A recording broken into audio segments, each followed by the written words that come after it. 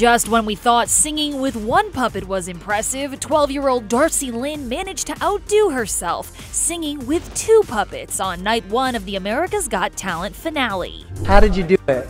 I mean, it was definitely my trickiest performance and the most challenging, but I'm so glad I pulled it off. I love it. I mean, to hear Simon say, I think you are the winner of America's Got Talent, what was going on in your head?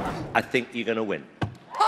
I was so nervous at the time, I don't even know, but I was feeling so happy and lucky that the judges said that to me, and it's um, really making me feel really good. Petunia, I gotta say, it all started with you and that golden buzzer. I mean, you got you're taking credit for this whole experience, right? Yes, I am because um, I'm the star, and that that's what matters.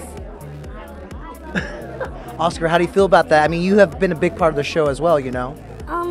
I think I'm the star. but y- y- you know she has her way sometimes, so How are you guys gonna celebrate if you win a million dollars? I don't know yet. I mean, there's a lot of things on my list, but it hasn't happened yet, so I, you know, figure that out in the future.